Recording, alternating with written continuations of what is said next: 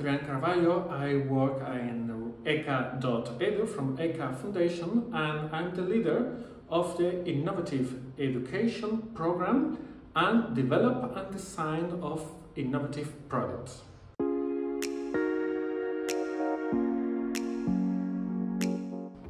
We engage local businesses in the way we program their learning experiences and learning programs.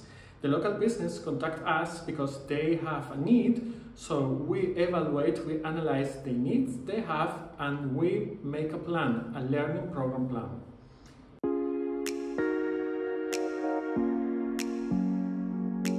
The key benefits for vet providers and businesses coming together to have uh, to provide a work-based learning opportunity for employees are, for example, enhanced skills for the employees, uh, reduce turnover from the staff, and have better qualified employees and CEOs.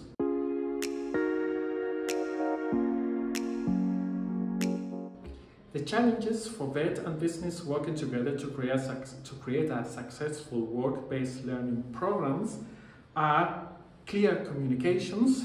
Uh, vet and businesses have to state a clear communication program.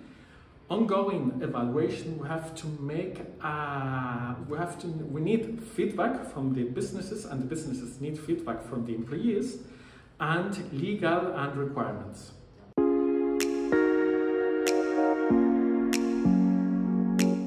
In my experience, uh, the best collaboration uh, programmed with the business is, first of all, listen to them. We have to listen to businesses and what their needs are. After that, we make a prior evaluation and a prior knowledge evaluation, what they know, what the employees know, and after that, we analyze, we make a briefing, and we make a, a learning program the businesses tell us what they really need and we can, uh, we can make a more accurate learning program.